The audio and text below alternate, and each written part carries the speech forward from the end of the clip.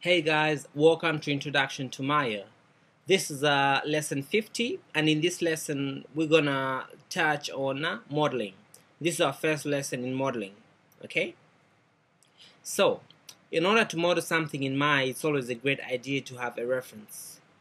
In um, cases where you want to model a human being or a car or things like that, you definitely need a photographic reference uh, photo, photographic reference of um, that actual object. On the on the flip side, if it's something that you've um, actually designed from scratch, you would want it to be um, hand drawn or illustrator drawn as a reference. So I'm going to show you. Um, I'm going to show you what we're going to work on. I'll move this on the side to the side.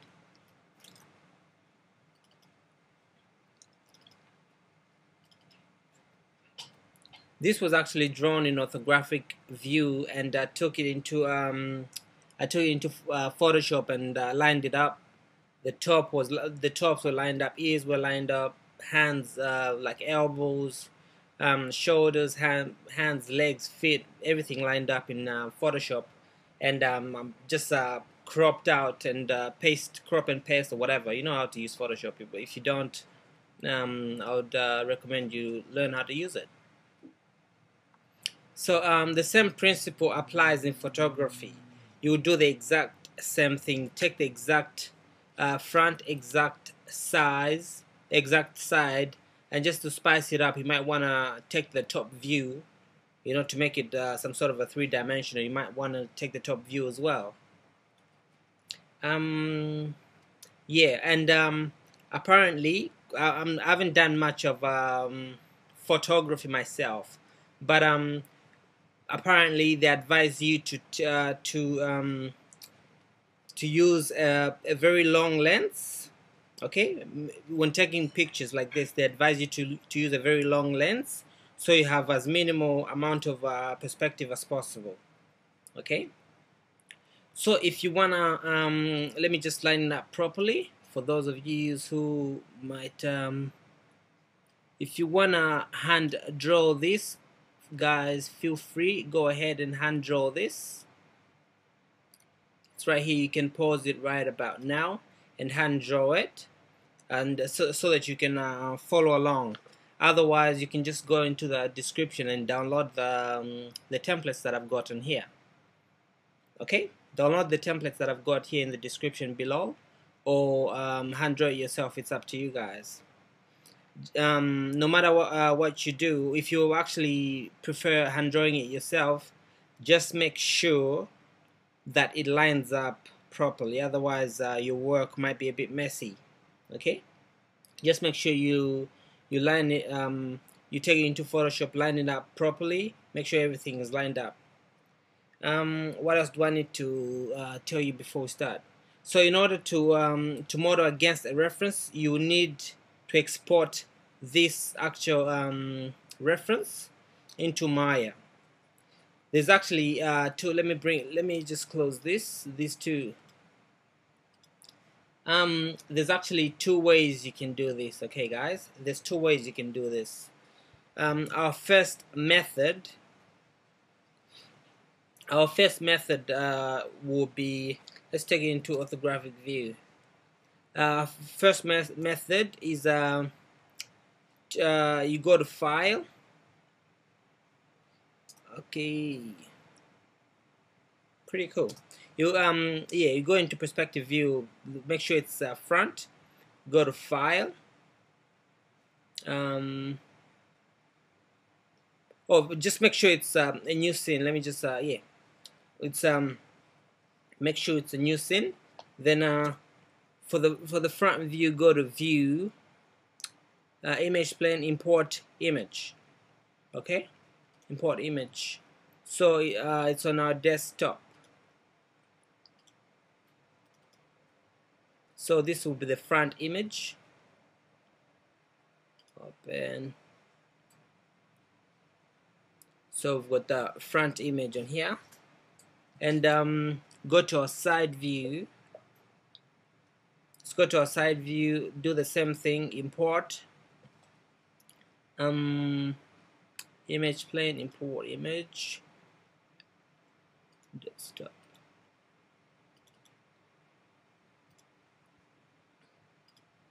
Open. So if you look at, at a perspective view it lines it up automatically. There you go.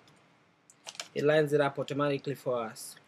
So um yeah this is our first uh, this is our first uh, option of doing it and um uh let's see. Yep this is our first uh, way of doing it. So to delete this to delete um, this actual thing just uh,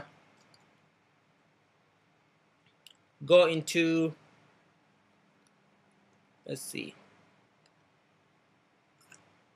Okay guys go into um, Windows hypergraph hypergraph connections. See that? This actual um, object is selected at the moment. So just go into hypergraph because this one is select the side view is selected hypergraph connection. Image plane make sure that one is clicked then delete. You delete the um, the side the side um, the side view. Then um, uh, for this one for, to delete the front view just go into view um, select camera. When you select camera go into Windows hypergraph uh, connections and um, image plane one which is the front view and um, delete it. That uh, deletes um, deletes your scene. And um, the second uh, the second uh, way of uh, the second way of actually um, importing your image is uh, let me just the second way of um, importing your image is going into uh, surfaces okay? Go into surfaces and uh, create a NURBS plane and make sure just estimate uh, just estimate the size. So I'll probably say about that much.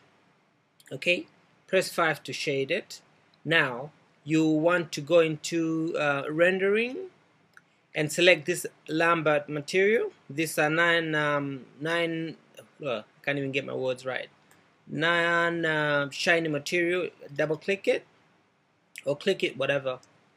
Then go into okay make sure you're following guys. Then go into color click on this little checkered box.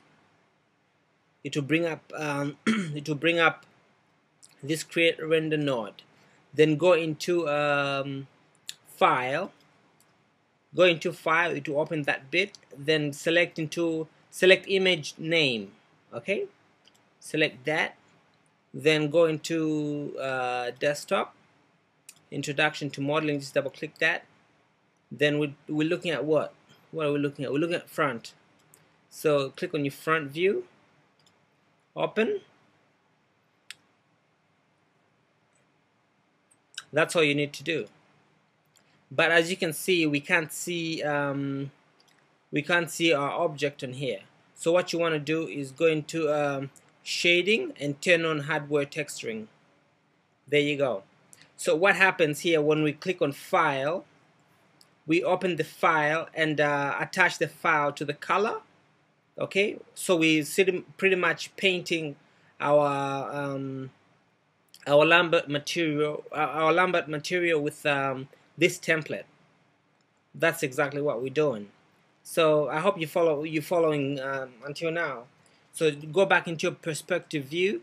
Okay, just to point out something, it might be a little bit confusing first, but this is um this is how I'm I'm going to do my tutorials from now on. So you might wanna um, follow it now. Either way, you do you do it two, three, four times, you get it. You it will just be straightforward. So go into your um, perspective view. Just uh, press five to shade this and again do the same thing shading and turn turn on your hardware texturing there you go so you might wanna um, what we want is the side as well okay? So this is uh this actual um, template is in the center. So what you want to do is to actually duplicate this. You can either go into uh, edit um, then duplicate okay? Or press the command D. And if you've got a Mac press a com uh, command D. If you've got uh, Windows I think it's control D. I, I don't have Windows so just double check guys um, yeah. Control D okay?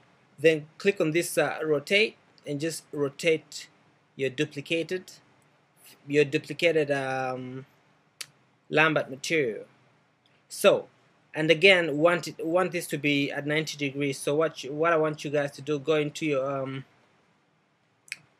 go into um, into your channel box and uh, just play with that a little bit see what numbers are, are moving okay?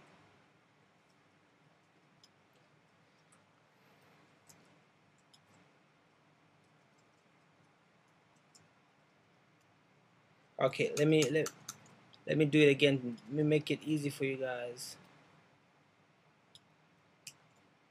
Control D to duplicate it. So what you want to do you want to rotate it into the y-axis by 90 90 degrees okay? So just click on 90 there you go.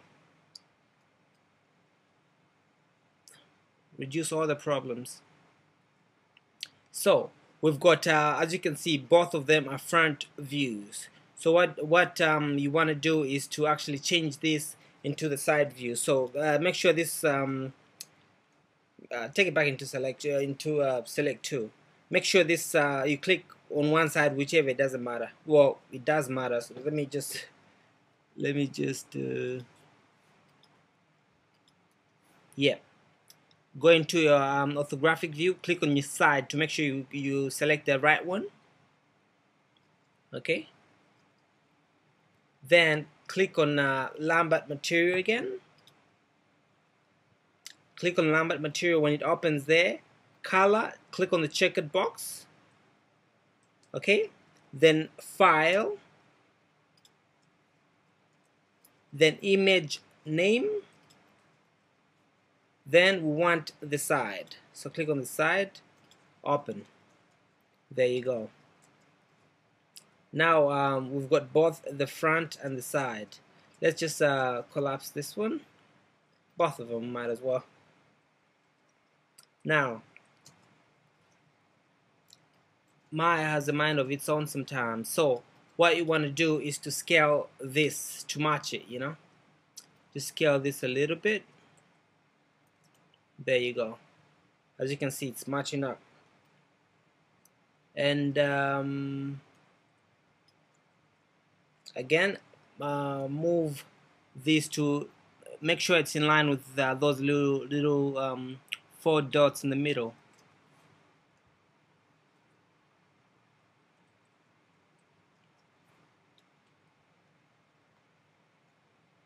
that's pretty good. That's pretty close. Yep. Now we've got our lined up um, and again.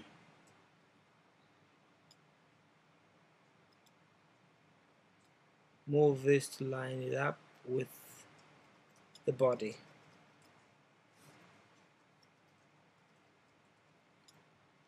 you might you might want to play with it a little bit a few times you know to get it right.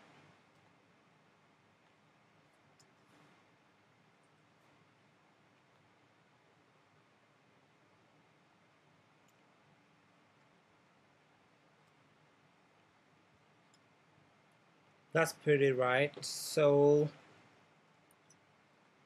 yeah that's right to me. So now we um we good to go but before we go any further, one last thing I want you guys to know is um, if you click on uh, if you if you go into your channel box, if you go into your channel box, you find these uh, layers that you've got on here. Okay, so you've got um, you've got this layer. So what you want to do is select both of these and um, you select make sure you select both of these and create and uh, click on this one. This is a shortcut to create a layer. So click on here. You have created a layer of these two. Okay? So um, just double click this and uh, name it um, na name it our template.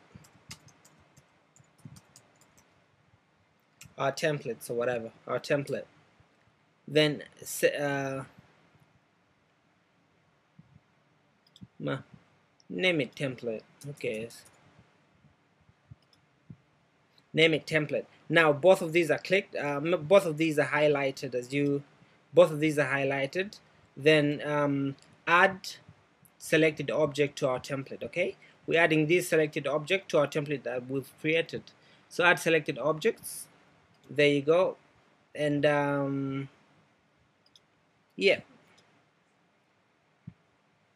that's um, how it works. Actually we might as well um,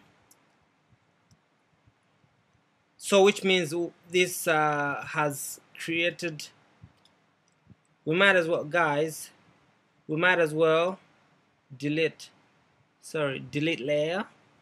I just delete the layer and um, create this layer. This layer will be double click it this layer will be uh, template 1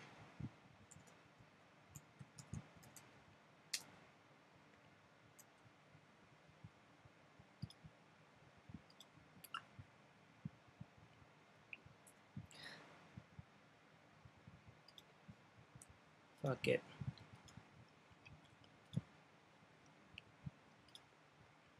Okay create one layer then select this thing uh, this uh, what's it called? This is front.